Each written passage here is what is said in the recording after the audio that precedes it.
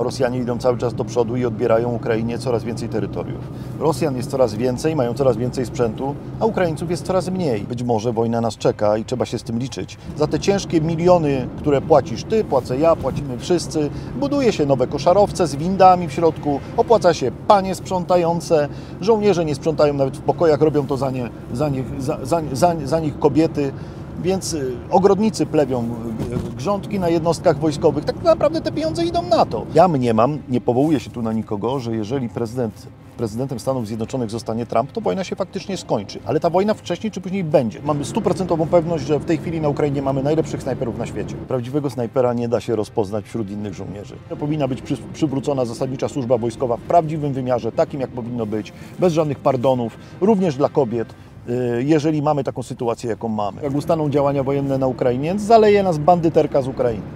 Będą to ludzie, którzy nie potrafią niczego innego, jak tylko wojować.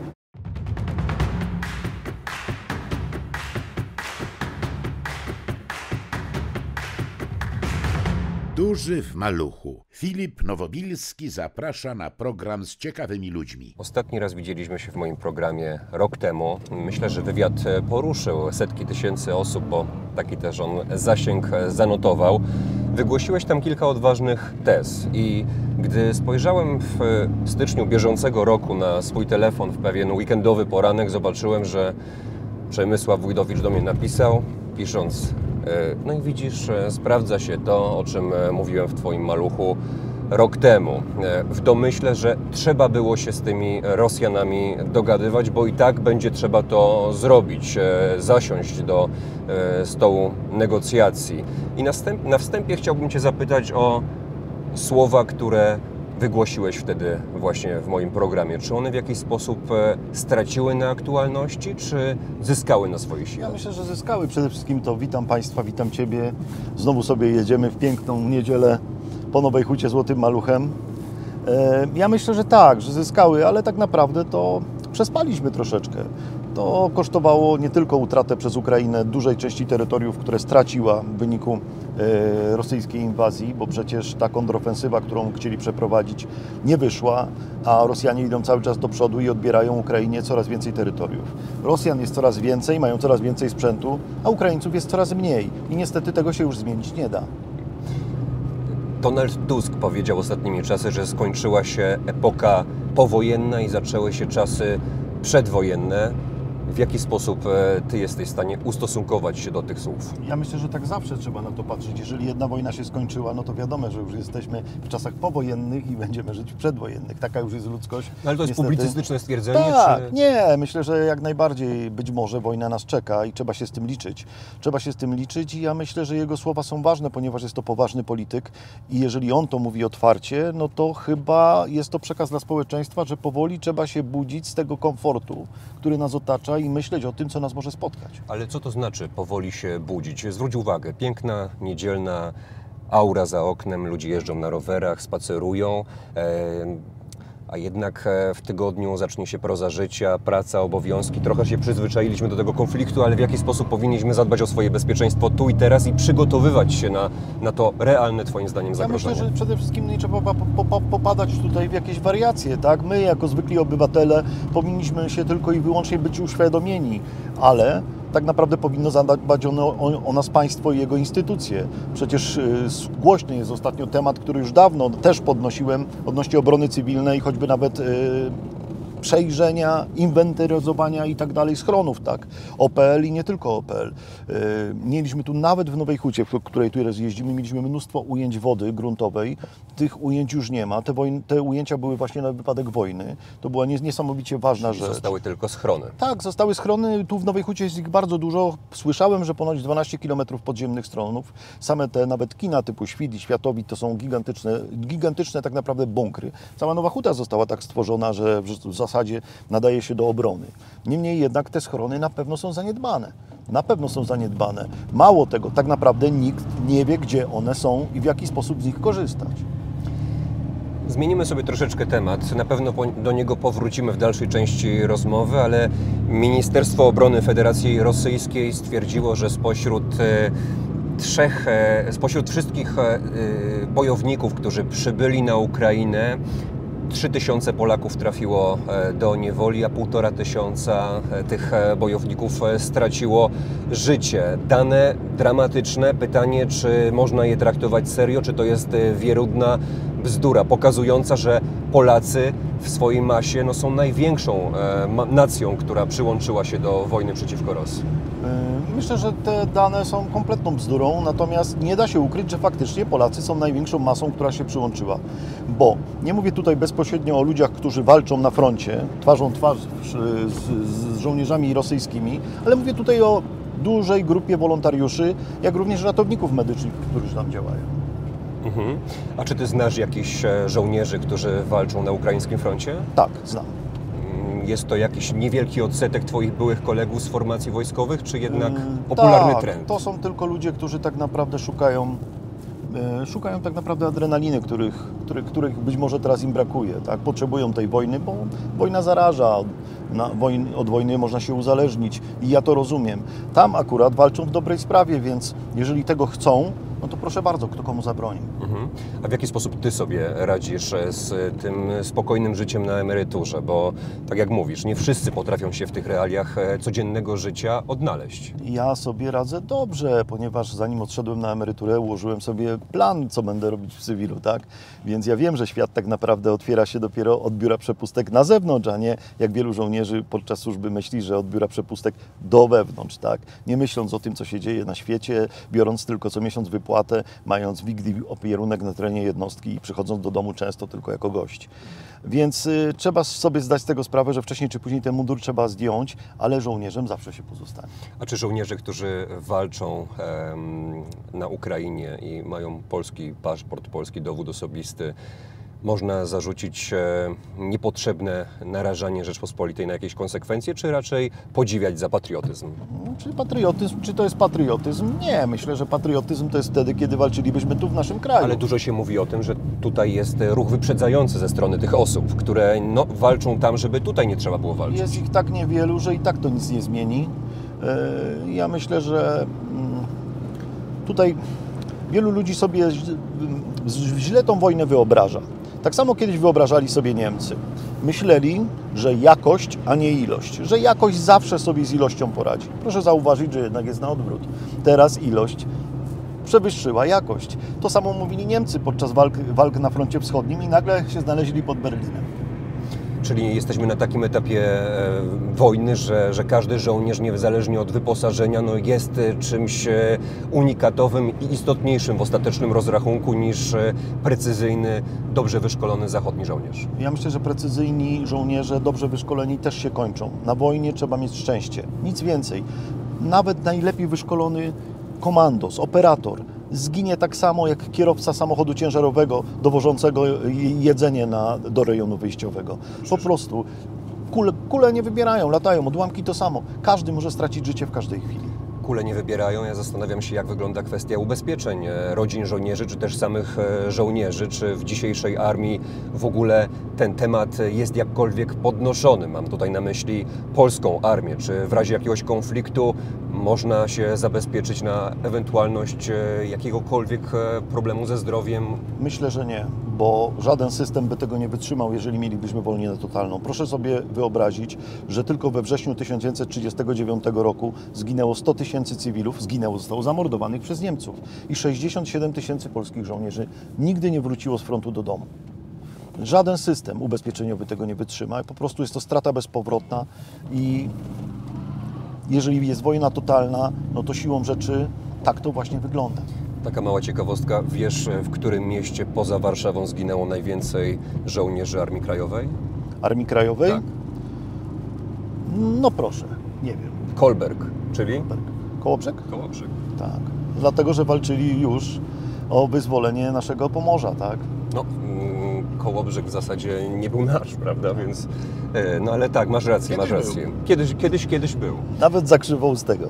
Tak, e, natomiast wtedy to była e, prowincja popierająca niezwykle NSDAP, ale nawet Napoleon Kołobrzegu nie był w stanie zdobyć, więc to taka mała, mała ciekawostka.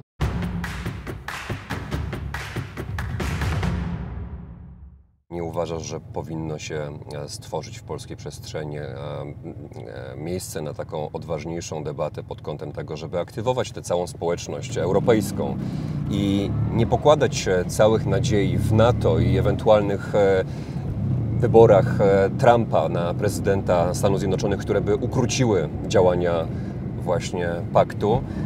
No bo e, był pomysł swego czasu ze stworzeniem takiej armii europejskiej. On jeszcze, on jeszcze w latach 50. E, gdzieś e, w debacie publicznej funkcjonował. No i cały Taką- pomysł palił na panewce. Taką armią europejską między innymi był Waffen-SS. No tak. Nie da się ukryć. Prawda jest taka, że ja myślę, że to jest nonsens. Każde państwo powinno się w ramach e, Sojuszu Północnoatlantyckiego szkolić i dozbrajać, ze sobą współpracować, uczyć się wzajemnie działania, żeby ta kompatybilność była wzajem, wza, wzajemnej współpracy. Natomiast no, trzeba zdać sobie z tego sprawę, że Polska, choć tak się chwali, że wydaje 4% PKB na obronność, no to to są pieniądze niestety, ale źle wydane. Dlaczego? No, ja sobie obserwuję na przykład nowe piękne gmachy.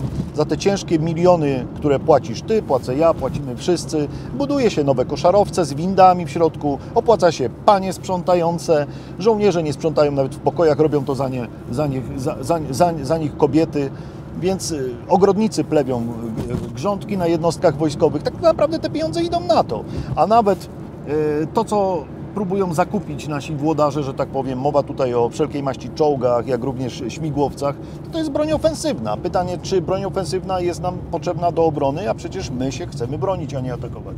Może by to zdało egzamin, gdyby była w dalszym ciągu e, koncepcja linii obrony Polski od linii Wisły, gdzie potem trzeba byłoby tych Rosjan wykurzać z Polski, ale chyba to jest już e, plan, plan mocno zapomniany, prawda? No i dlatego właśnie mówię, że budowanie właśnie za, e, na wschód od Wisły e, pięknych koszarowców jest nonsensem. Ja myślę, że nawet jeżeli tworzymy jakąś dywizję, polskie firmy, ale nie tylko, robią kontenery, robią miasteczka namiotowe, które można bardzo szybko złożyć i rozłożyć. Nie tylko w tych namiotach można spać w każdych warunkach atmosferycznych, ale również e, można, mogą, mogą, może być w nich przechowywany sprzęt. Bardzo szybko je można złożyć i taka jednostka może przemieścić się za Wisłę w każdej chwili. Natomiast no, tak naprawdę zostawimy piękne koszary, które być może kiedyś staną się katownią dla, e, dla, dla Rosjan, tak?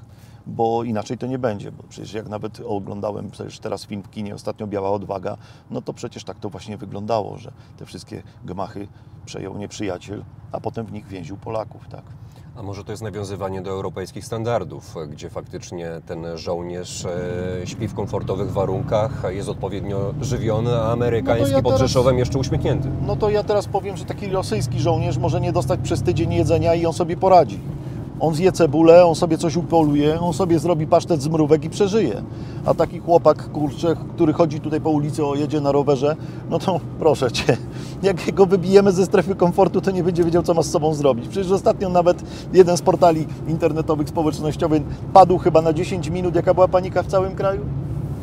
no, problemy naszych czasów, e, spokojnej rzeczywistości, ale masz wrażenie, że te pozorne problemy zostaną zastąpione przez e, realne zagrożenie tutaj na tej polskiej ziemi? Może tak być. Ja myślę, że tak jak rozmawialiśmy na samym początku, że wszystko to będzie uzależnione od wyników wyborów w Stanach Tak, Zjednoczonych. o tym powiedzieliśmy jeszcze przed włączeniem kamer, gdy sobie ucięliśmy krótką pogawędkę. E, mogę zdradzić Twoje, może nie preferencje polityczne, ale na kogo Ty oddałbyś głos? No przede wszystkim, słuchaj Filip i, drodzy Państwo, ja nie jestem żadnym ekspertem, jestem prostym żołnierzem, ale obracam się wśród ludzi, którzy wiedzą, e, jak wygląda geopolityka i znają się na, na strategii, tak? bo przecież pracuję z generałami, pracuję z politykami, pracuję z oficerami służb wywiadu, kontrwywiadu wojskowego, więc dużo słyszę. I e, ja mniemam, nie powołuję się tu na nikogo, że jeżeli prezydent prezydentem Stanów Zjednoczonych zostanie Trump, to wojna się faktycznie skończy. Ale ta wojna wcześniej czy później będzie. Tylko pytanie, jeżeli Trump zostanie prezydentem i ukróci tą wojnę, będzie to wyglądało na, następująco. Usiądą do stołu negocjacyjnego i Rosjanie będą mieli to, co mają, a, Rosja, a Ukraińcy to, co mają. I tak już zostanie. Natomiast no, co najmniej 10 lat będą się odbudowywać i prawdopodobnie będą chcieli jeszcze tej Ukrainie przypiec. Tylko pytanie, czy w Rosji dalej będzie rządził Putin za te 10 lat, bo być może nie, i nastawienie będzie zupełnie inne. Natomiast moim zdaniem, jeżeli wygra Biden i wojna będzie kontynuowana, to Ukraińcy już sami sobie nie poradzą. Jestem tego pewien. Tak jak tutaj teraz z Państwem siedzę, to daję sobie rękę położyć, że Ukraińcy już nie dadzą rady. Jest ich po prostu coraz mniej i jeśli chodzi o konfrontację z siłą żywą e, Federacji Rosyjskiej, nie mają żadnych szans. W porządku, a jakie szanse ma Polska, powiedzmy, i wszelkie, pa, wszystkie państwa koalicji? Ja przypomnę, że w NATO są 32 kraje, a rozmawiamy o jednym, ale potężnym ag- agresorze, jakim jest Rosja. Ja myślę, że w tej chwili Rosja nie ma szans na to, bo przecież nie może sobie poradzić z Ukrainą. No przecież, to, przecież to widać gołym okiem. Jedynym ich zabezpieczeniem i straszakiem jest e, taktyczna broń jądrowa, tak? I tym się tylko odgrażają i tym straszą. Natomiast jeśli chodzi o konfrontację NATO-Rosja, no to nie mają najmniejszych szans na chwilę obecną.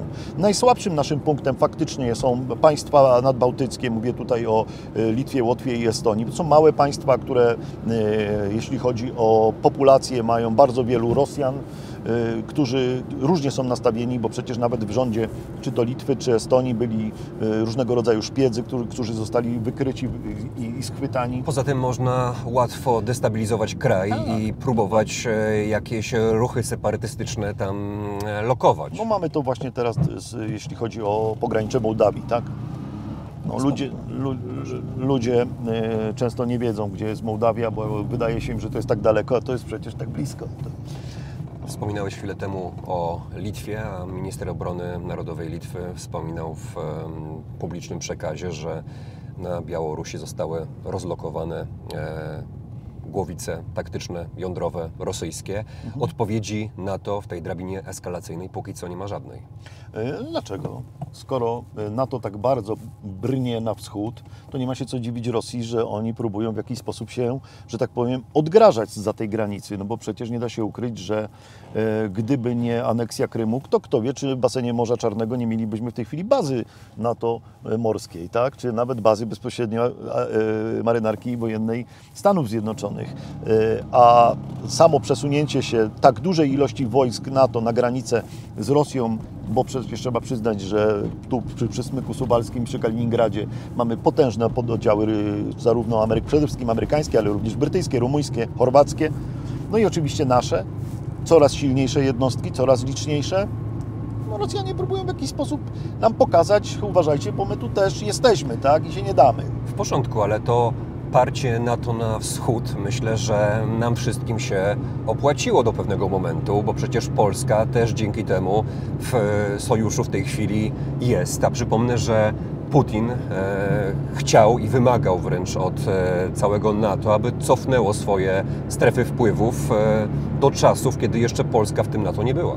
No tak, to się zgadza. No, NATO dla nas jest tylko. Pol- Polsce daje same korzyści, tak samo jak moim zdaniem Unia Europejska w tej chwili. Czyli co NATO do polskich granic Tak, krótko, dosadnie. Bardzo mi się to podoba.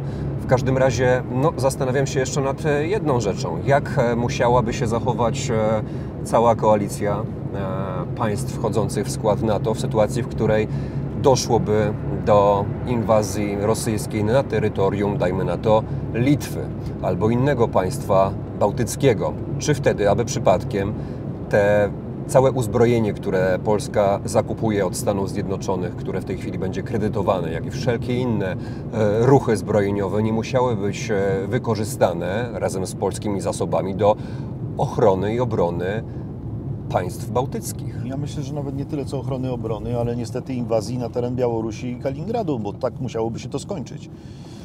Bo jeżeli wykonalibyśmy jakikolwiek ruch w tamtym kierunku, trzeba byłoby się liczyć z odpowiedzią ze strony Kaliningradu bezpośrednio na teren naszego państwa. Mhm. Natomiast e, to też może tłumaczy, dlaczego nabywamy tak wiele czołgów. Tak, tylko że czołgi akurat w tamtym rejonie do niczego są niepotrzebne. No jest to, jest to y, faktycznie y, teren y, bardzo żyzny, tak bym powiedział. Więc jaką broń byś proponował Ja polskiej przede armii? wszystkim to, co już nieraz mówiłem i być może mówiłem to rok temu, jak siedzieliśmy razem w tym wspaniałym małym Fiacie, przede wszystkim patrząc na to, co się dzieje na Ukrainie i obserwując to, mając dane, różnego rodzaju dane, bardzo poważne dane i nie są to zmyślone jakieś statystyki i, i, i, i, i teorie i systemy walki, przede wszystkim broń przeciwlotniczą, przeciwpancerną, małe, sprawne pododdziały, jak również zwiat, rozpoznanie, pododdziały snajperów. W porządku. A czy gdyby faktycznie e, wojska NATO weszły na Ukrainę, no bo przecież Macron do tego, e, no nie powiem, że nawoływał, ale też może trochę blefował i, i pokazywał swoją elastyczność w kontekście wszelkiego rodzaju rozwiązań, które może wdrożyć na, na tej zie- ziemi ukraińskiej, no to czy mielibyśmy już do czynienia z taką pełnoskalową e, wojną NATO versus Rosja? Ja też przypomnę, że jakiś czas temu mieliśmy ćwiczenia rosyjskie też z państwami, które wchodzą w e, koalicję rosyjską. Były tam też mocarstwa atomowe. Tak, wiem. Natomiast prezydenta Macrona nie brałbym poważnie, bo całkiem niedawno jeszcze siedział naprzeciwko Putina i błagał go, żeby wyszedł z Ukrainy, tak? Więc takie podejście, ja myślę, że to nie jest, to jest owszem, na pewno profrancuski polityk, ale nie należy go brać poważnie w kontekście wojny na Ukrainie.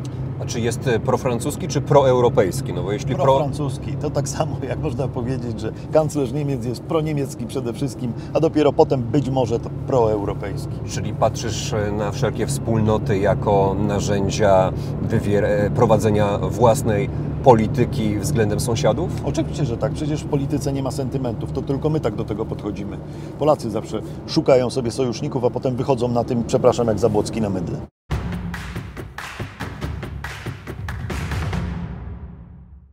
Powiedz mi proszę, w jaki sposób e, Twoi koledzy, w cudzysłowie, ale powiedzmy, że em, ludzie działający w tej samej branży, to znowu też będzie kolokwialne określenie, ale mam tutaj na myśli snajperów e, ukraińskich. E, jak oni sobie radzą na froncie? Czy, czy macie jakieś, nie wiem, grupy whatsappowe z kolegami, którzy też e, brali udział w innych akcjach i wymieniacie się jakimiś doświadczeniami, historiami Właśnie. z pierwszej ręki? Właśnie zdałem kolejną książkę do wydawnictwa. Wy- Wyjdzie, wyjdzie ona w lipcu. Będzie nosić, na razie ma roboczy tytuł Snajperzy i świat long range, historia strzelectwa precyzyjnego w naszym kraju i nie tylko, oraz techniki szkolenia. Tam e, powołujemy się na doświadczenia z Ukrainy, nie tylko jeśli chodzi o snajperów, ale również choćby nawet o drony. E, ale powiem otwarcie, w takiej sytuacji mamy mamy stuprocentową pewność, że w tej chwili na Ukrainie mamy najlepszych snajperów na świecie.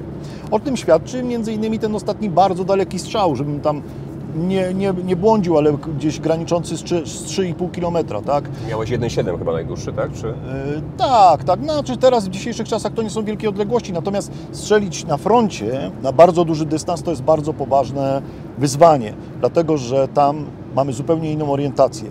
Jeżeli przychodzi się na strzelnicę, można sobie spokojnie wszystkie warunki zmierzyć. Mamy odległość do celu, możemy też ją pomierzyć, nawet jeżeli ten cel jest nam nieznany i nam odległości, możemy sobie bez strachu użyć dalmierza laserowego, yy, włączyć kalkulator balistyczny, stację pogodową, wyciągnąć wnioski i oddać celny strzał. Ale na froncie tak nie ma, nie ma na to, to po prostu czasu. Mhm. No dobrze, natomiast no, snajperzy ukraińscy walczą w nieco innych warunkach niż, niż walczyłeś ty w e, Afganistanie. W swojej książce Snajper wchodzi pierwszy opisywałeś sytuację, w której przygotowywałeś swoje stanowisko do obserwacji, a następnie do eliminacji.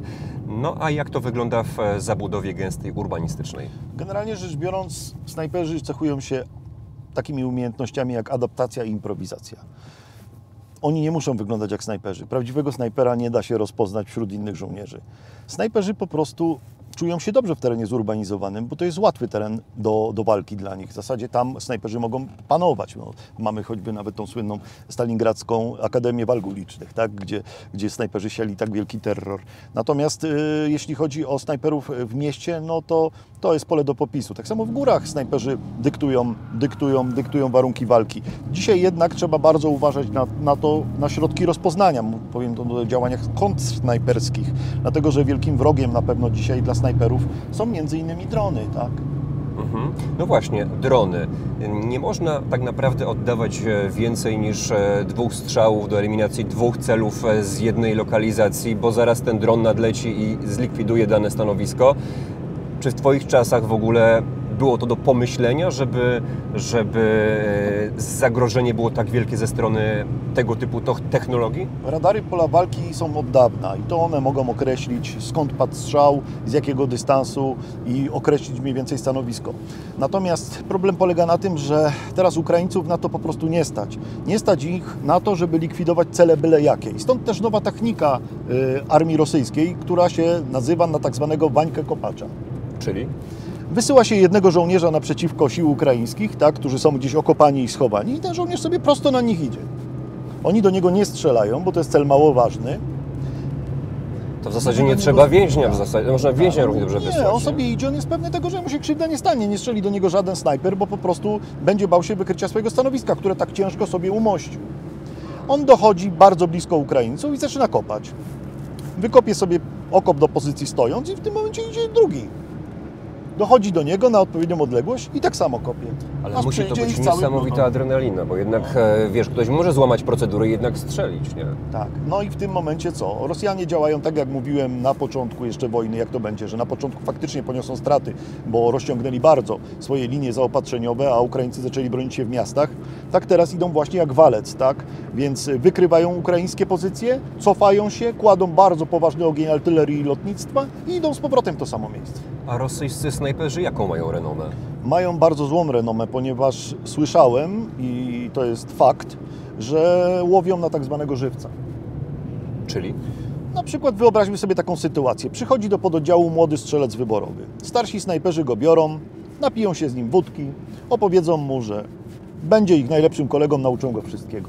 Ale już na drugi dzień powiedzą mu, że tam zobacz, tam masz stanowisko najlepsze z najlepszych, my cię będziemy ubezpieczać. On wyjdzie, do niego strzeli ukraiński snajper, go zabije, a oni zabiją ukraińskiego snajpera. Nie ma tam moralności za dużo. No, taki kraj. Taki kraj, czyli ta różnica faktycznie jest zauważalna, ale wiesz, tak sobie myślę, że największym naciskiem na społeczeństwo, niezależnie w której części świata są media, i to nie jest jakieś wielkie odkrycie, ale wreszcie możemy to odnieść do tej polskiej narracji, bo o ile wszyscy byliśmy zdziwieni, że Rosjanie tak, e, no teraz są wybory w, e, w Rosji, że tak na pewno znowu popierać będą e, Putina i, i są zwolennikami tego, by Rosja toczyła te e, działania wojenne, to jednak mówiliśmy ciągle o tym, że jest e, to kwestia propagandy i tego, że się w mediach powtarza, że Polska, że Rosja powinna e, wyeliminować e, faszystów ukraińskich. Z kolei w Polsce coraz częściej mówi się o tym, że być może NATO trzeba wypuścić. Szymon Hołownia krzyczy, że wgnieciemy Putina w ziemię i potrafię sobie wyobrazić, że gdyby tego typu głosy nie były jakimś wyjątkiem, a codziennością, to zaraz ze strony przeciętnych Polaków, którzy na przykład jadą tym autobusem, e, byłoby zrozumienie względem tego, że Polska musi wykonać działanie zaczepne na Białorusi na przykład i zaatakować Białoruś. To jest wszystko tak naprawdę kwestia narracji e, w mainstreamowych mediach i tak jak mówię, jestem co do tego w 100% przekonany, że gdybyśmy byli karmieni inną retoryką, to zaraz by się okazało, że Polska też ma zupełnie inne ambicje, mocarstwowe być może. No, dzisiaj w mediach można powiedzieć wszystko, ale zau, zau, zauważcie Państwo, że przecież mówi się coś rano, a po południu już tego nikt nie pamięta. Kiedyś, jak doszło do jakiejkolwiek tragedii, to mówiono o tym miesiącami. Dzisiaj nie pamięta się o niczym. O, zapomina się o przyjaciołach, o rodzinie, o, patrzy się tylko na to tu, ja, ja i teraz, to co moje. Więc ja myślę, że ludzie w ogóle nie biorą takich słów na poważnie, szczególnie tutaj e, pana Szymona Hołowni, które, Hołownię, którego znam osobiście, z którym rozmawiałem dużo, ponieważ nasza fundacja szkoliła go między innymi i jego ludzi, choćby nawet jak posługiwać się komórkami, czyli telefonami komórkowymi, bezpiecznie. Mhm. Natomiast e, moje pytanie nie było e, bezzasadne, bo e, często mówimy o tej e, takiej wielkoruskiej mentalności, o tym, że chcą zbudować imperium, a, a może to wszystko jest kwestia narracji medialnej. Oczywiście, że tak. Ja jest tego samego zdania A jestem. nie tego, że z mlekiem matki e, chłoną e, jakieś carskie, e, powiedzmy, właściwości. Rosjanie, taki zwykły Rosjanin też przecież jakąś swoją dumę musi mieć. I nie może powiedzieć, że żyje w kraju, nie wiem, zacofanych ludzi, agresywnych ludzi. Będzie zawsze prorosyjski. No, wygląda to jak wygląda. Ja nie wiem, chciałem sobie porozmawiać ostatnio z kilkoma Rosjanami, jak byłem w Egipcie. Nie wyszło to. Chciałem rozmawiać nawet z Chińczykami, ale jak dowiedzieli się, że jestem z Polski, to uciekli. Dlaczego? Nie wiem, może mieli ze sobą jakiegoś oficera politycznego na tej wycieczce. Mhm. Natomiast e, powiedz mi proszę jeszcze, jeszcze jedną rzecz, bo rozmawialiśmy troszeczkę o tym, że e, polskie służby nie do końca rozumieją rolę weteranów we współczesnym świecie. Jak w tej chwili wygląda Twoja codzienność? Bo rozmawialiśmy w poprzednim wywiadzie bardzo długo o Twojej pracy, o zmaganiach, o wyzwaniach, ale słyszałem, że w dalszym ciągu kontynuujesz swoją pracę na rzecz e, weteranów i myślę, że to jest też godne podziwu. Tak, no, ja już się tym, można powiedzieć, zaraziłem. Ja to po prostu lubię, jestem od tego uzależniony. Yy, ale wreszcie się że tak powiem, i armia do mnie uśmiechnęła po tylu latach, a dokładnie ponad 12 przypomniano sobie o mnie i powołano mnie na Olimpiadę Rannych Żołnierzy Invictus Game w Kanadzie, która odbędzie się w lutym w e, 2025 w Vancouver. No, zaraz po Twoim spotkaniu e, z Tobą, po spotkaniu z Tobą jadę do Zakopanego właśnie, gdzie w Kościelisku będę brał udział w kolejnym zgrupowaniu. Przygotowywać się będę między innymi do biatlonu, biegów narciarskich, ale też do sprint, sprintów pływackich. Takie dyscypliny sobie obrałem i tam chcę tak występować. Natomiast, no, dzieje się w tym świecie weteranów, myślę teraz dość dużo, bo jest sporo tych, tych fundacji, organizacji oddolnie się dzieje. Natomiast odgórnie no, mamy tylko to Centrum Weterana, które tak naprawdę jest ok, tylko że problem polega na tym, że to jest instytucja tak naprawdę czysto informacyjna. Ona nie ma możliwości wspierania, pomagania. No, ja bym to widział zupełnie inaczej. Weteranów przede wszystkim trzeba trzeba, trzeba angażować w życie, tak? Trzeba im załatwiać pracę, trzeba im załatwiać e, możliwości choćby nawet uczestnictwa w turnusach, w, sanatoriach. Tego nie ma. Ale mm, co mogę powiedzieć? Czeka nas być może coś bardzo poważnego i już nikt o weteranach nie będzie myślał, bo proszę sobie wyobrazić, no, czym jest weteran, albo w ogóle, czy będzie można powiedzieć śmiało, ja jestem weteranem, kiedy na przykład wybuchnie konflikt. Trzeba będzie o tym zapomnieć. Tak jak ja zapominam o tym, że mam pierwszeństwo przy wejściu do lekarza, jak zobaczę starszych ludzi siedzących na korytarzu. Ja im nie powiem, proszę Państwa, ja jestem weteranem i ja wchodzę bez kolejki. Siadam i siedzę razem z nimi. Natomiast e, jeśli chodzi o samych weteranów, to popełniono poważną zbrodnię. Nie wykorzystano umiejętności weteranów wcale. Mieliśmy wspaniałych żołnierzy, starszych szeregowców, których zwolniono po 12 latach z wojska. Byli to żołnierze, którzy służyli po parę razy w Iraku, parę razy w Afganistanie, spadochroniarze, saperzy, snajperzy. Poszli do cywila, teraz na przykład jeżdżą tirami albo są, pracują w budowlance. Ci ludzie już do wojska nie wrócą. Do wojska w tej chwili przyjmuje się ludzi, no proszę Cię, no stare babcie, tak, no jest jakiś tam plus, no jest kilka takich portali w serwisach społecznościowych, które się z tego śmieją, bo po prostu wychwytują zdjęcia z ze stron Ministerstwa Obrony Narodowej i wrzucają tam na przykład panów po 50 stojących jako szeregowcy na przysiędze.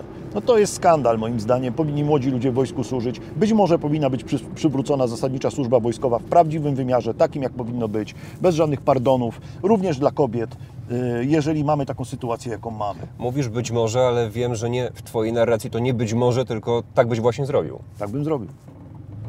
I jak to z Twojej perspektywy powinno wyglądać? Jakie widełki mm, wiekowe byś założył? Bo w, na Ukrainie ten wiek poborowy też jest w różnym okresie różny. Tak, no wiadoma sprawa, że potem bije się rezerwa. Tacy ludzie jak ja, którzy są już w okolicach 50, będą się bili potem, jak do piachu pójdą młodzi. No tak, ale z drugiej strony na Ukrainie też tak było, że jednak te osoby w wieku produkcyjnym jeszcze na front pewnie no, nie, nie wyszły, bo y, one mają szansę poszerzać tę ukraińską tkankę miejską, sprawiać, żeby kolejne pokolenia przychodziły na świat. To jest dobra taktyka i ona też nam pokazuje, że ta wojna jest troszeczkę dziwna. Dlaczego? Dlatego, że na wojnie totalnej nie ma miejsca na odbudowywanie tkanki żywej. Tylko po prostu wszyscy walczą do zwycięstwa.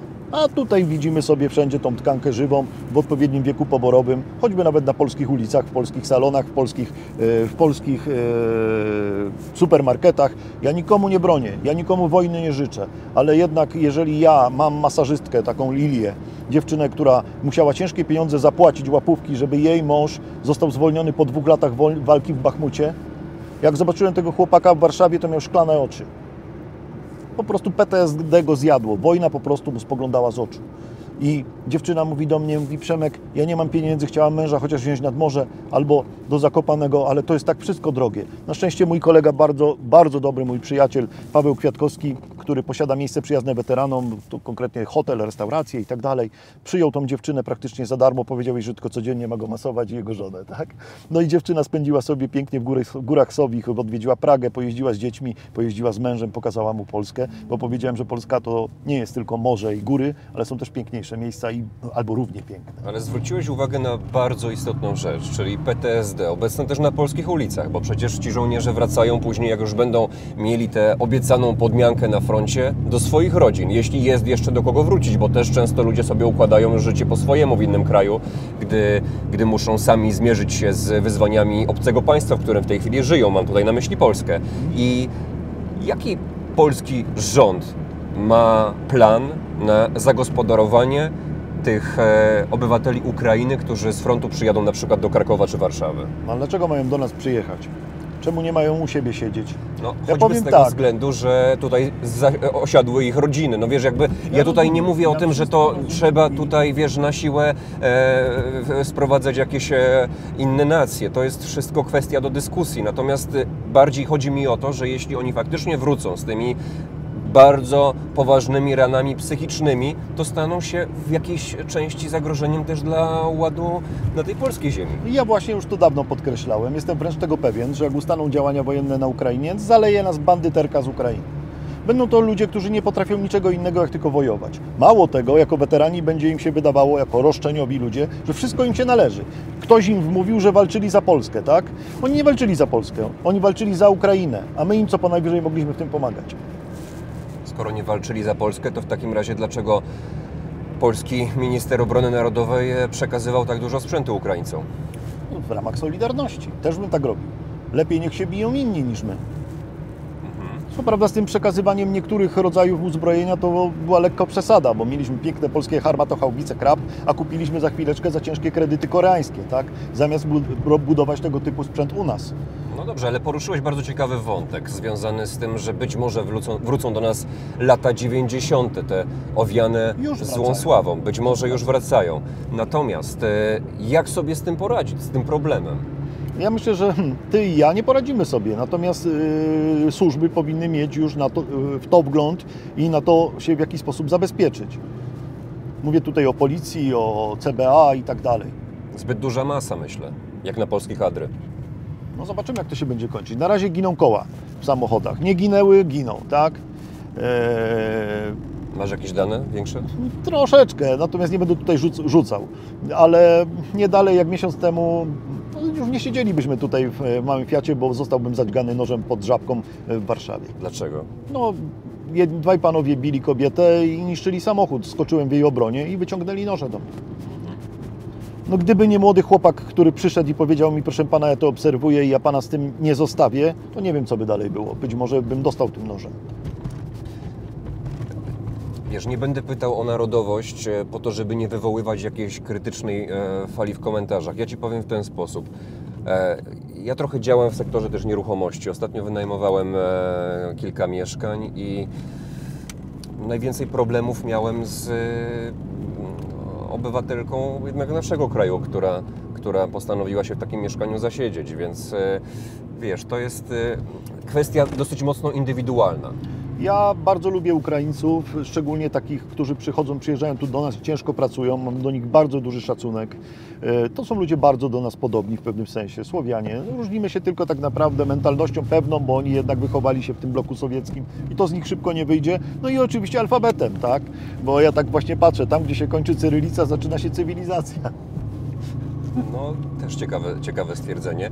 Przemysławie, bardzo się cieszę, że e, wprowadziłem tę naszą rozmowę na takie nieoczywiste tory. Miałeś okazję zaprezentować swoje stanowisko w kilku kwestiach. E, Gdybyśmy rozmawiali w ten sposób jeszcze powiedzmy pół roku temu, to któryś z widzów mógłby pomyśleć, że szykuje się jakieś, e, e, jakaś kampania wyborcza i planujesz na którąś z list dołączyć, bo to jest taki moment, w którym byli wojskowi faktycznie opowiadają o swoim światopoglądzie, a nie tylko i wyłącznie o swoich doświadczeniach. No ale rozmawiamy już e, no, trochę po wyborach, e, przed wyborami małymi, które Cię pewnie dużo mniej interesują. Także e, zostawmy już te tematy. Czy coś Przemysławie tytułem zakończenia chciałbyś naszym widzom przekazać? Przede wszystkim, żebyśmy wszyscy byli świadomi i szanowali się nawzajem, bo to jest podstawa. I żebyśmy sobie zdali z tego sprawę, że to, co mamy, ta wolność, którą otrzymaliśmy i ten dobrobyt, który w tej chwili w Polsce jest, taki jaki jest i nie było w Polsce nigdy tak dobrze jak teraz, możemy stracić bezpowrotnie. I żebyśmy o to dbali i uważali na siebie. Uważali na własne bezpieczeństwo. Ale nie zostawię naszych e, widzów w poczuciu takiego niedosytu. Musimy ten wywiad zamknąć e, klamrą i dopytać jeszcze o jedną rzecz.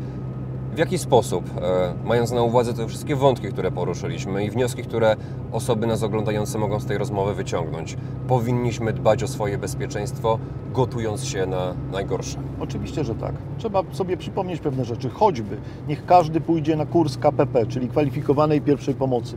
Niech każdy pójdzie chociaż raz w życiu na strzelnicę, żeby zobaczyć, jak wygląda broń palna. Bo kiedyś w przyszłości na ulicy mogą ją, ludzie mogą ją znaleźć, bo może leżeć, choćby nawet koło poległego żołnierza. Więc trzeba umieć to obsłużyć, trzeba umieć to rozładować, załadować, złożyć, rozłożyć, charakteryzować. Dalej, je, mówi się, że tam przychodzą ostatnio do wojska starsze panie, które być może posłużą rok, może dwa. Tak naprawdę to ta służba to będzie dla nich wpis w CV, bo nigdy przecież emerytury w wojsku nie doczekają. Ale taka pani już wie mniej więcej na czym polega re- regulamin ogólny w wojsku. Wie jak wygląda niewybuch, niewypał. Więc wbrew pozorom jest to też pożyteczne, bo potem gdzieś w przyszłości, gdy będzie leżeć granat moździerzowy na ulicy, który nie eksploduje, a będzie leżał, a ktokolwiek go na przykład kopnie, to straci życie, no to ta osoba będzie wiedziała w jaki sposób go zabezpieczyć i kogo wezwać do jego neutralizacji.